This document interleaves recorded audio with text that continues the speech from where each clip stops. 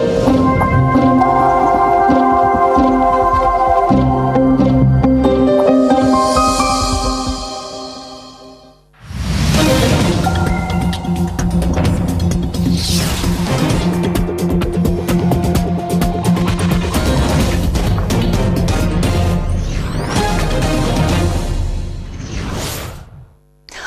Суботньому ефірі підсумковий випуск новин студії Ірина Науменко. А з подіями тижня, що минає, вас ознайомлять кореспонденти інформаційної програми День за днем. Тож сьогодні поговоримо про таке. На Кіровоградщині ліквідували підпільне виробництво підробної горілки. Де залишити дитину під час вимушених шкільних канікул? Зі Львова з медалями кропивницькі легкоатлети здобули три нагороди на міжнародному турнірі. Далі докладніше про ці та інші новини. Карантинні заходи на Кіровоградщині тривають. В області закриті 44 навчальні заклади. Причина захворюваність дітей на гострі респіраторні вірусні інфекції, яка перевищує 20%. Загалом епідемічна ситуація на Кіровоградщині спокійна. Показник не перевищує рівня епідпорогу. Школярі Кропивницького карантин не відпрацьовуватимуть. Таку інформацію озвучила начальник управління освіти міськради Лариса Костенка. На вимушених канікулах під час карантинних заходів перебувало близько 18 тисяч дітей. Вони самостійно опрацьовували навчальний матеріал. Кожен заклад вирішує для себе, як саме вони працюватимуть у дистанційному режимі. Додаткові дні до навчального року будуть додаватися не будуть.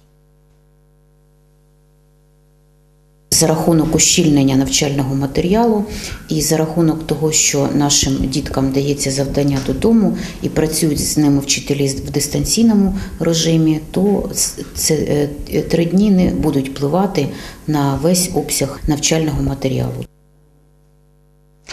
Де залишити дитину на час вимушених канікул у школі? Таке питання батьки першачків почали обговорювати у соцмережах. Мовляв, залишити дитину вдома без нагляду наважуються не всі. Взяти дитину на роботу не дозволяє роботодавець, а близькі родичі чи сусіди теж зайняті. Сергій Михайлін шукав відповіді на ці питання.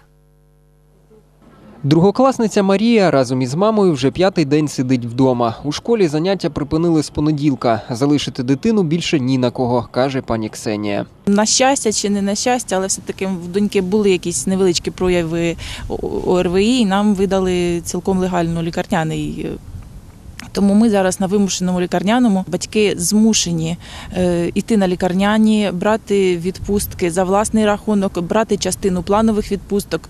Тобто е, питання материнства і дитинства дитинства ніяк не захи... не, не вирішуються і не захищені. Ксенія написала пост у групі батьківської ради Кропивницького у соцмережі. У дописах їй порадили дитячі ігрові центри. Дехто пропонував допомогу по догляду за дитиною. Кращий варіант, на мій погляд, кооперація з іншими мамами. Ми так робили. Кожна мама один день на тиждень сиділа вдома, а діти протягом тижня ходили один до одного в гості. Весело і зручно. Знайти няню для дитини не на повний день важко, каже Віра. Дівчина користувалася послугами няні в минулому році. Тепер знову шукає на випадок хвороби дитини, коли її не можна відвести у дитячий садок. Смотрели сайти, але не дуже хочеться людям, яких ти зовсім не знаєш, довіряти ребенка. Ну вот, нашли через знайомих няню. Тоді це ну, где-то год с небольшим назад Это стоило в пределах 20-25 гривен в час. Но это то, что мы нашли.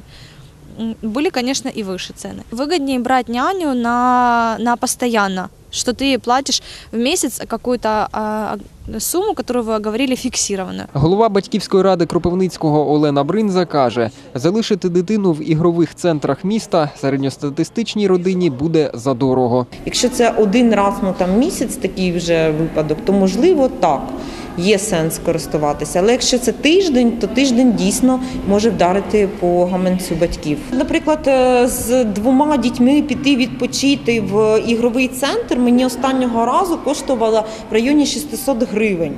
І я скажу, що це були просто вхідні е, кошти на вхід і мінімальний перекус, якийсь був водичка.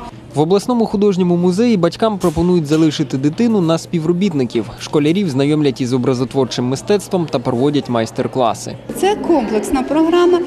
Дітки можуть і помайструвати. Далі також можуть переглянути е, мультиплікаційні фільми, можуть е, переглянути музей в супроводі наукового співробітника або екскурсовода.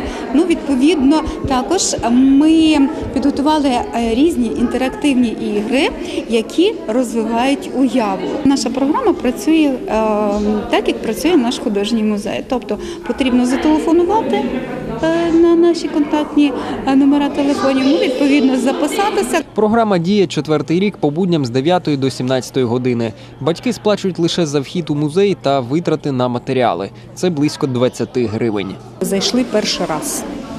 Да. Ми ніколи не були, але я бачу, що дитині сподобалося. Вона додому йти бачу, що не хоче. Шкода, що лише година. Багато справ не вирішиш. Особливо це актуально на період карантину, тому що зараз діти, дитину нікуди подіти. І на період карантину, е, звісно, дуже добре, коли дитина сидить чимось займається, а не вдома перед телевізором. Начальник обласного управління освіти Володимир Табуранський говорить: на час вимушених канікул батьки можуть залишити дитину в школі, якщо там створять чергові групи. Як е, в дитячому садочку, так і в школі може бути створена чергова група для того, щоб діти перебували певний період в навчальному закладі, тому що заклади продовжують опалюватися, педагогічні працівники. е, Продовжують працювати офіційних звернень від батьків стосовно того, що необхідно відкрити чи чергову групу в навчальному закладі, чи іншим способом вирішити питання перебування дитини до обласного управління не надходило. Аби створити чергову групу, батькам радять звертатися із заявою до керівництва закладу. Пані Ксенія каже, наступного року, якщо в школі знову оголосять вимушені канікули, намагатиметься отримати у роботодавця відпустку без збереження заробітної плати, оскільки має двох дітей віком до 15 років. Сергій Михайлін, Анатолій Басистий, Сергій Баранюк. День за днем. Майбутні першокласники навчатимуться за новою програмою. Освітні стандарти для всіх шкіл України почнуть діяти з початку наступного навчального року. З 1 вересня 2017 року 100 українських шкіл долучилися до пілотного проєкту запровадження нової української школи.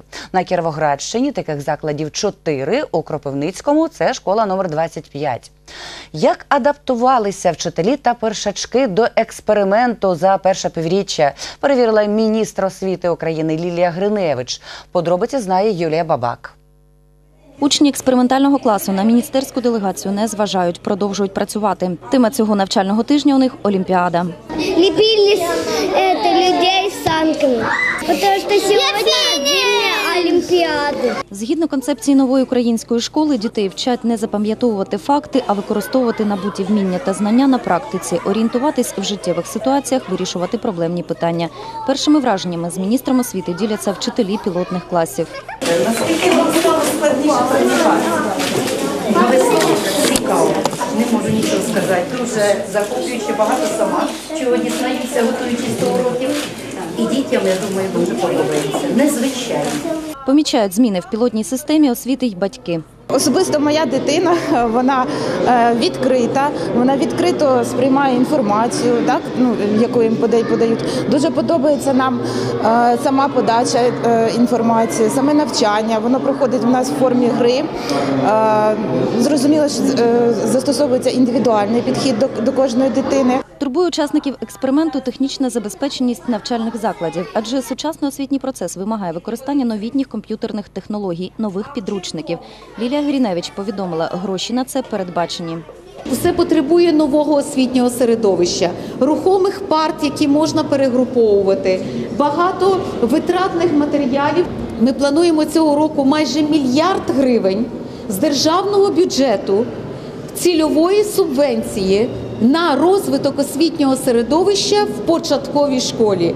Для того, щоб підготувати це середовище, вчитель, який готовий з методами навчання, нові підручники, які будуть е, відповідно надруковані для початкової школи для першого класу, і нове освітнє середовище. Підготують до запровадження нової української школи в наступному навчальному році й 22 тисячі вчителів. Для них розробили навчальний курс очний та онлайн. Кропивницький вчитель Дмитро Панов наразі пройшов вже кілька модулів. За практичним запровадженням нових методик спостерігає в експериментальних класах. Там є теоретичні засади, коли ми Е, Переглядаємо відеофрагменти, переглядаємо відеоуроки, вивчаємо базу законодавчу, нові державні стандартні вимоги, відповідаємо на тестові запитання. І крім того, там є величезна ще практична діяльність, коли ми будемо створювати власне заняття. Мотивувати вчителів до праці за новими стандартами планують збільшенням зарплати. Ви знаєте, що минулого року зарплата підвищилась вчителів на 50%. Цього року в середньому це буде на 25%. Але все ще, коли я спілкуюся з вчителями і запитую, яка в них зарплата, це не є те, чого б ми прагнули. Якщо ми з вами вимагаємо від вчительства бути активним, працювати з дітьми новими методиками, е, то ми повинні віддати належну шану вчителеві. 21 лютого Кабінет міністрів України затвердив державний стандарт початкової освіти. Стандарт базової освіти уряд планує затвердити в 2019 році. Юлія Бабак, Анатолій Басистий. День за днем. У Кропивницькому є понад 100 дітей, що виховуються в неналежних умовах. Про це розповів спеціаліст служби у справах дітей Ігор Горін. Ці родини у спеціалістів на постійному контролі. Працівники служби два рази на тиждень влаштовують рейди, аби перевірити, чи є в сім'ях позитивні зрушення. В одному з рейдів побувала і наша знімальна група. У першій сім'ї, яку перевіряють спеціалісти, три малолітніх дитини живуть разом з мамою, бабусею та прабабусею. В будинку безлад, проте мати переконує, діти усім забезпечені. Доглядати їх допомагає прабабця. Обязательно помогаю. Если б не я, то и руки помогаем, все помогаем. А что за не буде? З мамою спеціалісти провели виховну бесіду. Жінка пообіцяла створити нормальні умови для життя дітей, інакше малих заберуть. А в цій родині дитину відібрали три місяці тому. Зараз малому Антону сім місяців. Його виховують в дитячому будинку. Проблема цієї родини у зловживанні спиртними напоями. Е, Ми приїхали під час чергового рейду. От, помітили, що батьків не в тверезому стані. Рішенням виконкому було е, вірніше, було прийнято рішення про рішення виконкому про негайне відібрання дитини. Тепер пояснюють спеціалісти, у батьків є рік для виправлення. Мають знайти роботу, створити належні умови для виховання малюка. Весь цей процес буде під контролем служби. Есть коляска, трансформер, есть детская кроватка, вещи, игрушки, все, есть. У ребенка полностью ребенок, ну, ну, ну все, что ему нужно, вот принадлежности, бутылочки, лекарства.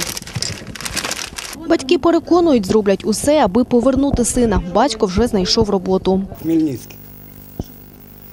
Я їду різати комбайн. Металоперевозка. В цій родині своя історія. Батько сімейства кілька місяців був на заробітках. Мати почала пити, не слідкувала за господарством та дітьми. Зараз має час на виправлення. Щоб була чистота, щоб був порядок, щоб нікого тут п'яних не було. І не буде вже. Значить, Е, е, щоб були продукти харчування. Ви чуєте? Ви не Ви- Вимоги до е, Дивіться, муку я вже Значить, приніс. Мука вже я. Алла, йди сюди. Алла, приніс я муку. с- слух- слухайте, тепер тихо і слухайте уважно. Значить, те, що ви е, творили тут, призвело до того, що ми змушені були подати до суду про відібрання у вас дітей.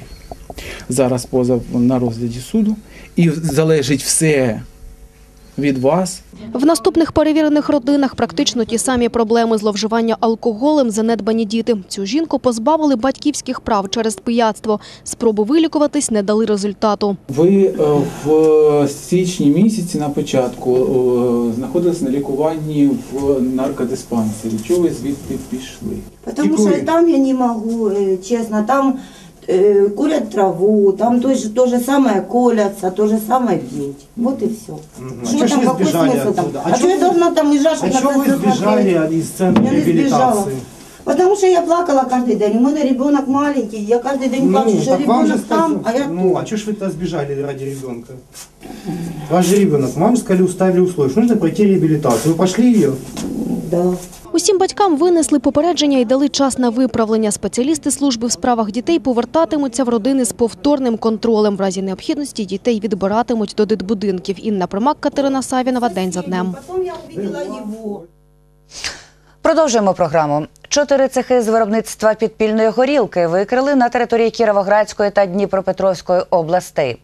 Група чоловіків виготовляла контрафактну горілку та розповсюджувала її переважно через інтернет. Податківці встановили незаконне виробництво діло близько півроку.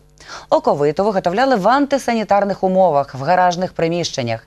Під час обшуків правоохоронці вилучили 8 тонн етилового спирту, півтонни водно-спиртової суміші, майже 100 літрів готової до реалізації продукції та 4,5 тисячі пачок тютюнових виробів без акцизу. Все це на загальну суму 2 мільйони гривень. Також вилучили 27 тисяч гривень готівки та автівку. Наразі тривають досудове розслідування та експертизи.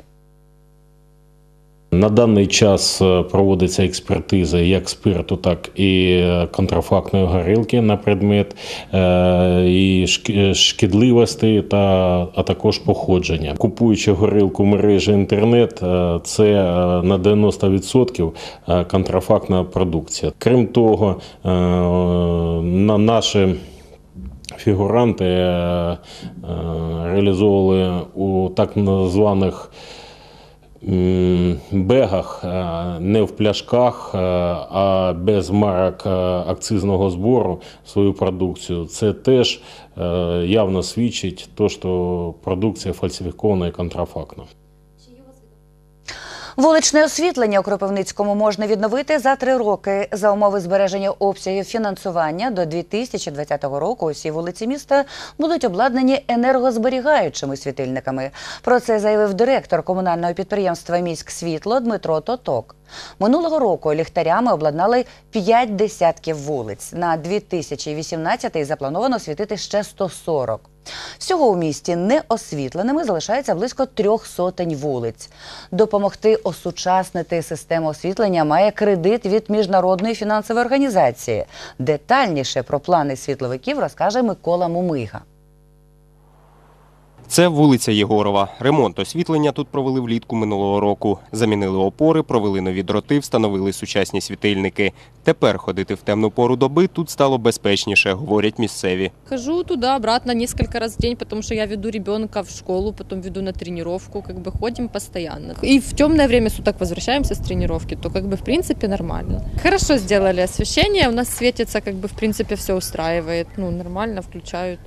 Улицы світлі. Таких вулиць, як ця, по місту за минулий рік відремонтували 50, каже директор комунального підприємства «Міськсвітло» Дмитро Тоток. З них 25 провели силами комунального підприємства. Решта – інші підрядники, які виконували замовлення міської ради. На більшості вулиць е, взагалі не було освітлення, так як е, і провод там застарів, не було його, і світильники. Зараз вони повністю відновлені. На усіх відремонтованих об'єктах встановили сучасні енергозберігаючі світильники. Вони використовують майже в сім разів менше електроенергії, ніж світильники старого зразка. Світильник світодіодний, потужністю його 20 Вт.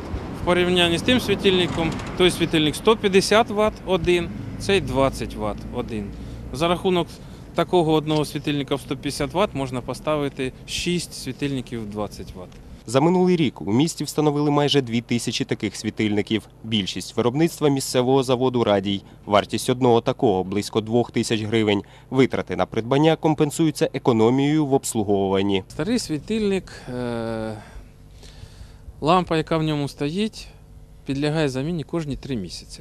Тобто її термін е, служби 1000 годин. Е, Цей світильник, у нього 60 тисяч годин термін його служби.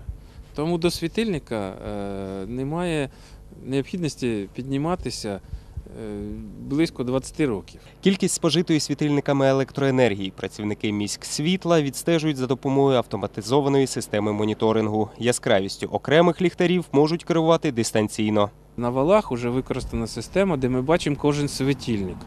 Тобто стоїть у нас 114 світильників, ми їх бачимо на карті міста і як вони працюють. Їхнє споживання електроенергії, їх наявність освітлення. Ми можемо управляти ними, додати освітлення, якщо потрібно на якесь свято, або зменшувати, якщо немає необхідності. У 2018 році у місті заплановано відновити освітлення ще на 140 вулицях. Це коштуватиме близько 17 мільйонів гривень. Якщо обсяги фінансування не зменшаться, в трирічний термін кожна вулиця Кропивницького буде мати сучасне освітлення. Загальна кількість вулиць в місті Кропивницькому 600 вулиць.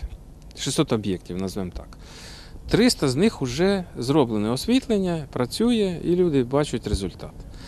Е, В цьому році біля 140 об'єктів.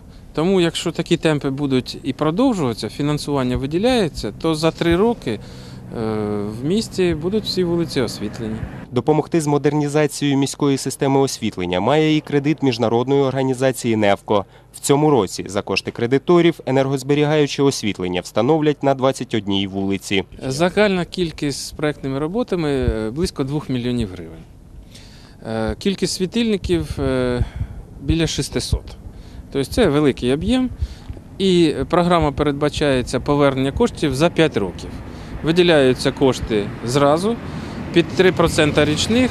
Тобто ми зробимо роботу, воно вже буде працювати за рахунок економії електроенергії, буде погашатися частково ця сума. Продовжити роботи по модернізації вуличного освітлення в місті мають вже в березні. Микола Мумига, Сергій Баранюк, Олександр Донцов. День за днем. Єдиний в області в обласному онкологічному диспансері створюють сучасний операційний блок з автоматичною стерилізацією повітря. Це унеможливить попадання інфекцій урану під час проведення операцій. Кошторисна вартість проекту становить 44 мільйони гривень. Торік освоїли понад 20 мільйонів гривень з Державного фонду регіонального розвитку та понад 8 мільйонів з обласного бюджету. Що вже вдалося зробити та коли запрацює оновлений операційний блок, дізнавалася Марія Староста. Будівельні ремонти в операційному блоці онкологічного диспансеру розпочалися торік у листопаді. На близько тисячі квадратних метрів уже замінили систему опалення, водопровід, каналізацію, встановили газопостачання. Замінили підлогу, вікна оздобили стіни. У кожній операційній встановили гігієнічні панелі та нові лампи. У нас були ліхтарі, старі лампи. Якщо ви бачили радянські фільми, оці такі здорові, такі ну, круглі лампи з такими лампочками. Під цю лампу, щоб ви не ставили яку перешкоду, світло буде все одно попадати під об'єкт, який перешкоджає світло. Тобто це небо і земля порівняно з тою технікою, з тою технікою, яка в нас була. У нас лікарі придумували спеціально, як оце шахтарі вішають собі е, освітлювачі на голову, так і лікарі наші ходили з такими приладами на операції, щоб якось собі підсвітити. На час ремонтних робіт оперують хворих у реанімаційному відділенні ще зі старими світильниками у трьох залах. Цих операційних замало, говорить заступник головного лікаря Ігор Макарук. Адже щодня в закладі проходить від 20 до 30 операцій. Якщо у нас тут раніше було 5 залів операційних, то зараз ми працюємо у трьох. Ми встановили певну чергу, тому що е, зараз свого роду боротьба за ці операційні зали, тому що не, не вистачає лікарям е, часу і можливості. Ми зменшили майже в два рази кількість операційних. В оновленому блоці буде шість операційних, по одній на кожне відділення і одна операційна для екстрених випадків.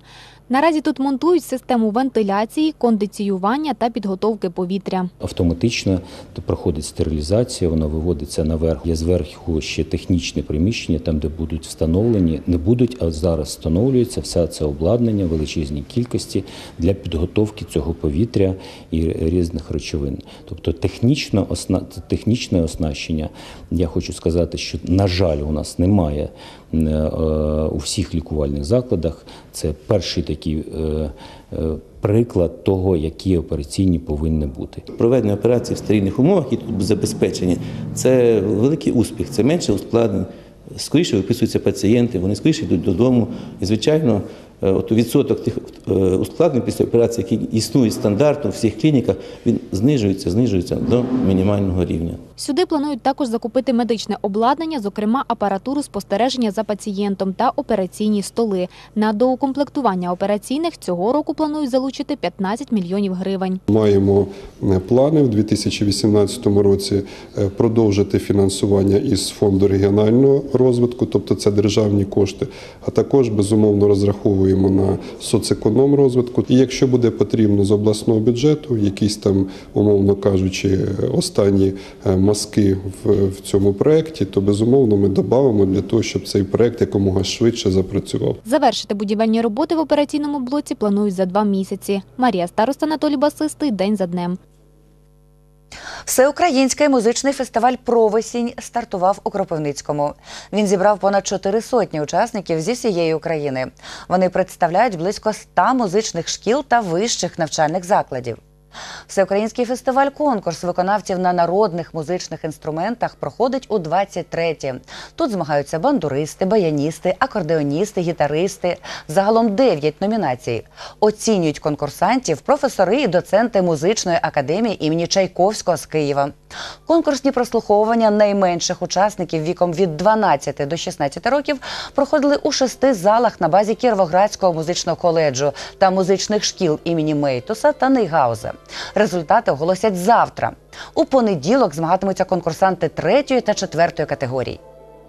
Я приїхала з Тернополя, навчаюся в Острівській музичній школі, і я дуже сильно хочу цього е, разу отримати перше місце. Попереднього разу в мене було друге місце, і поставила собі за мету приїхати ще раз і показати ще більше на що я здатна. Коли ти готуєшся і бачиш свій результат, е, що ти можеш ще більше, це якось так надихає ще більше е, ну, грати. Наше завдання розглядіти талант. Це музикальність, звичайно, це володіння інструментом, емоційність цього е, виконавця. Хотілося б, щоб в цьому році були відкриття, тому що будь-який конкурс це е, він відбувся, якщо є відкриття. Я сподіваюся, що буде так цього разу. Зі Львова з медалями кропивницькі легкоатлети здобули три нагороди на міжнародному турнірі Меморіал Олексія Дем'янюка. Учасниками щорічних міжнародних змагань стали стрибуни у висоту з України, Латвії та Туреччини. Далі Олександр Сметанко. Кропивницькі легкоатлети на меморіалі Дем'янюка виступали в 12-те. Раніше на турнірі у Львові перемагали і Дмитро Яковенко, і Антон Мокряк. Але одразу три медалі кропивницькі стрибуни у висоту здобули вперше, говорить їх тренер Геннадій Здітовецький. Еще такого ни разу у нас не было. Было такое, что Яковенко выигрывал э, с результатом 2.23 мемориал, а и юноши выигрывали, но так, чтобы сразу столько медалей у нас это впервые. У змаганнях юніорів переміг Антон Мокряк із результатом 2 метри 10 сантиметрів.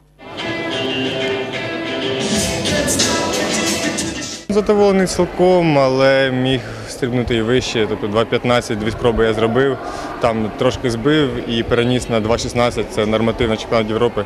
Ну, міг взяти, але чуть-чуть не вийшло. У Львові Антон перестрибав бронзового призера чемпіонату світу. Головний суперник в мене був Лаский Владислав. Він зі Львова. Він третій на чемпіонаті світу був влітку з особистим рекордом 2.11. У юнацьких змаганнях переміг Олег Дорощук, який на 5 сантиметрів випередив свого товариша Олега Тикула. Главным соперником был Олег Тыкул, поскольку мы с ним ранее прыгали одинаково. А теперь 2 метра я взял с третьей попытки, а 2.05 настроился и взял уже с первой. Тренер розраховував на перемогу лідера українського рейтингу у юнацькій категорії Олега Дорощука, але не з таким результатом. Но то, что он принял 2.05, для меня это было сюрпризом. 2.05 это кандидат в мастера спорта.